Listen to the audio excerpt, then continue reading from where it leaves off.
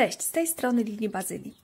Witam w trzeciej i ostatniej części instrukcji, jak wykonać torbę szydełkową na podstawie kwadraciku babuń.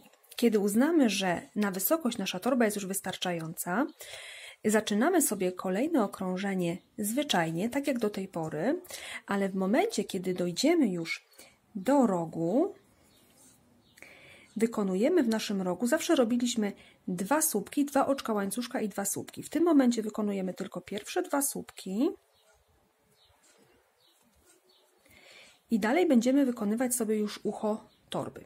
Trzeba y, wymierzyć sobie mniej więcej, jaka ilość y, oczek łańcuszka będzie nam potrzebne. U mnie jest to 100 sztuk, więc po prostu robimy 100 oczek łańcuszka, a potem będziemy się przyłączać w kolejnym rogu. Tutaj to miejsce pomijamy, ten środeczek i będziemy się przyłączać w tym miejscu. Zrobię sobie teraz 100 oczek i pokażę, jak będziemy to łączyć. Wykonałam już łańcuszek złożony ze 100 oczek i teraz będę go przyczepiać do kolejnego rogu. Czyli łańcuszek wychodzi z tego rogu, później omijam środek boku i przyczepiam do kolejnego rogu. W tym celu zawijam sobie oj, tutaj coś mi się zaczepiło, nitkę po prostu jak do zrobienia słupka i wbijam sobie szydełko w ten róg. Wykonuję dwa słupki.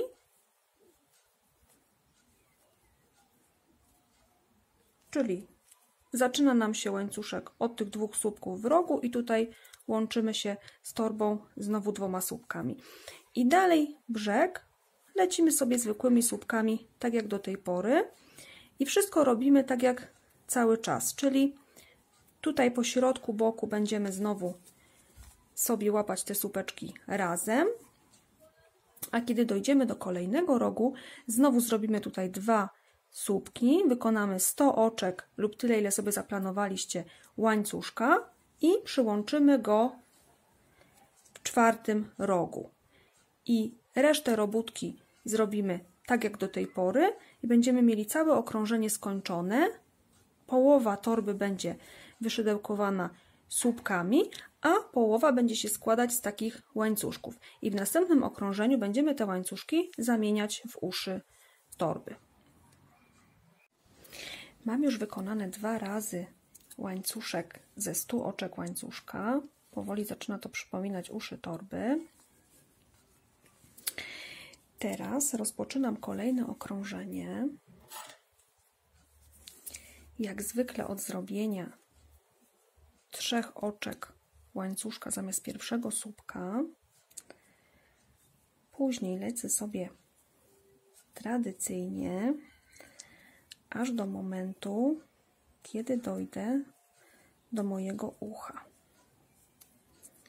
Jeszcze kilka słupeczków i będziemy wbijać się w łańcuszek. To będzie troszkę bardziej kłopotliwe, nie robi się tego już tak wygodnie, jak wbijanie się po prostu w poprzedni słupek, ale warto wykonać to dokładnie i starannie, żeby później te uszy ładnie wyglądały. A zatem robimy to w ten sposób.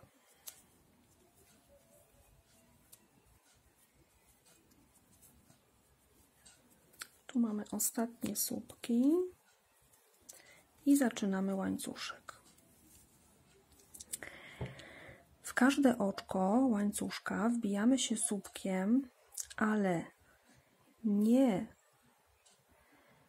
w pojedynczą nitkę w ten sposób, bo wyciągniemy sobie te wszystkie nitki i będą one tak brzydko wyglądać, powstaną nam takie otwory, tylko za każdym razem musimy wbić się pod dwie nitki tego oczka. Tak jak mówiłam, to jest dosyć kłopotliwe. O, w ten sposób. Wtedy ten łańcuszek nam sztywno się trzyma i ten, y, ten słupek nie wyciągnie nam tego oczka. Ja jeszcze raz pokażę, jakbym się wbiła w pojedynczą, tylko pod pojedynczą nitkę. mam dosyć sztywną włóczkę, ale i tak będzie to widać, to tu powstaje nam taki otwór. I to jest oczywiście niepożądane, więc za każdym razem bijamy się o ten sposób. Żeby y, dwie nitki szły na górę, a ta pojedyncza zostawała na dole. I wtedy te otwory nam nie powstaną. I tak musimy zrobić przez oczywiście cały łańcuszek. Potem lecimy sobie dalej do końca wszystkie słupki tak jak poprzednio. Kolejny łańcuszek i zamykamy okrążenie i potem będziemy wykonywać jeszcze jedno okrążenie. Ja już zakończyłam swoje okrążenie, łącznie z biciem w każde oczko łańcuszka słupka. Moje uszy wyglądają teraz tak. To jest cała torba. I teraz wykonamy jeszcze jedno okrążenie, które nam tak wy wykończy po prostu torbę, sprawi, że troszeczkę jeszcze te uszy będą sztywniejsze. Mianowicie objadę sobie wszystkie te słupki oczkami ścisłymi.